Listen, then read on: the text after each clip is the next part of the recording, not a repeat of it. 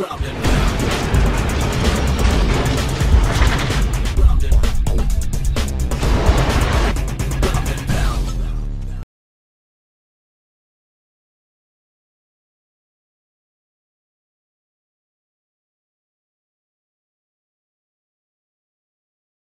Bero, ja, am Samstag sehen wir uns im Ring.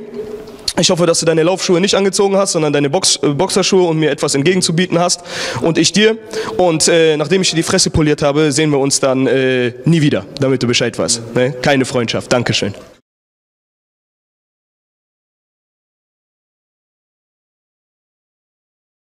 Okay, alles klar, Leute. Hier, 15 Minuten nachdem ich das Interview gerade mit den Jungs von Ground Pound hier geführt habe, äh, bekam ich eine äh, WhatsApp-Nachricht vom guten Herrn äh, OJ von äh, den La Honda-Jungs, also quasi dem Manager von Bero Bass, der jetzt äh, gegen mich kämpfen möchte am Samstag. Angeblich würde äh, Bero Bass ja verletzt sein. Jetzt vier Tage davor hätte sich irgendwie das Sprunggelenk und irgendwie die Leiste gleichzeitig gezerrt und blü, blü, blü. Ihr wisst Bescheid, dieses ganze Gerede.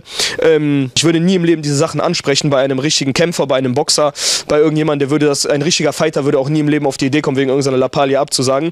Aber äh, da es ja ein äh, großkotziger, großschwätziger Rapper ist, der vorher solche Ansagen geschmissen hat, dass er mich kaputt macht mit einer Hand auf dem Rücken, macht er gegen zwei Leute, gegen fünf Leute. Manuel Schar wollte er auch boxen, ne? Manuel Schar, Profiboxer, wollte er boxen.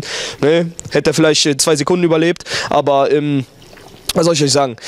Ist alles einfach ein riesiger Kindergarten. Jetzt möchte dieser OJ dagegen mich kämpfen. Äh, der hat früher angeblich ein bisschen geboxt oder so. Jetzt hat er sich sechs Wochen lang auf mich vorbereitet, ne? während ich äh, mich auf diesen Berobas vorbereitet habe. Und er möchte jetzt quasi als Alternativgegner ein einspringen. Das ist natürlich totaler Quatsch. Aber äh, mir soll es recht sein. Mir ist es scheißegal. Ich nehme diese an äh, Herausforderung an und wir werden Samstag einfach boxen. Fertig. So, Sache ist erledigt. Und äh, jeder, der aus Köln kommt und den Namen äh, Berobas hört, der weiß ab jetzt an, dass es die größte Schwuchtel in ganz Köln ist, der da drum läuft. Und an alle echten Leute, auch an alle echten Rapper, die wissen, was die Wahrheit ist und so. Lasst euch von solchen Missgeburten mit diesen Leuten dann nie im Leben in die Irre führen.